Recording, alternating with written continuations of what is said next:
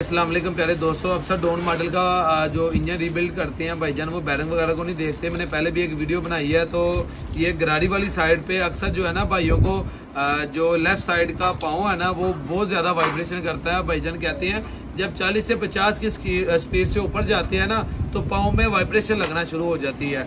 जिसकी वजह ये बैरिंग होता है। अक्सर भाई कहते हैं ग्राड साइड में नया लगवा लिया, छोटी ग्राडी तीन चार मरतबा फिट करवा ली, फिर भी ये आवाज़ नहीं जा रही है वाइब्रेशन नहीं जा रही।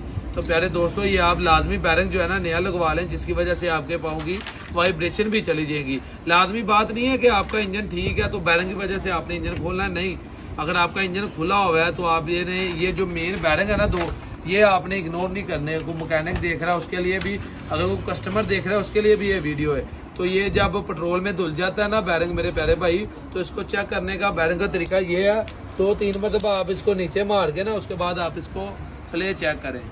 ये भाईजान ये जिन भाई का ये है होंडा, ये चेक करें। ये इसमें ऐसे चेक करें प्ले है। ऐसे खेच के जरा चेक करें। प्ले है ना इसमें तो इसको आप चेक करें। इसमें तो नहीं है। चेक करें वो बैरिंग। ये पूरा फिक्स है।